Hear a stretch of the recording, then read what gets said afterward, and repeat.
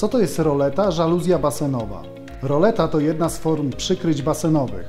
Zbudowana jest z połączonych ze sobą paneli PCV, co stanowi dość sztywną pokrywę na powierzchni wody.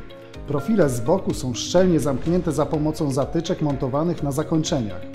Roleta jest pokrywą pływającą po wodzie, więc nie wymaga żadnych prowadnic. Do wyboru masz rolety automatyczne i manualne.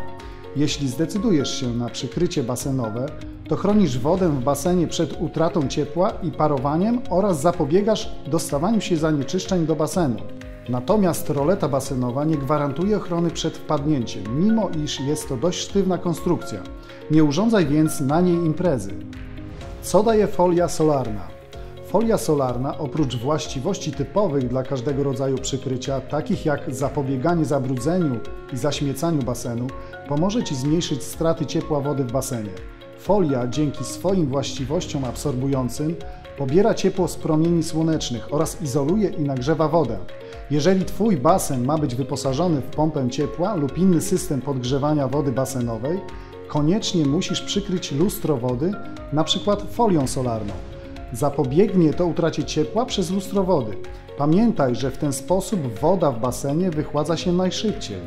Czy folia solarna chroni przed wpadnięciem do basenu? Nie, jedynym skutecznym zabezpieczeniem jest zadaszenie basenowe zamykane na klucz.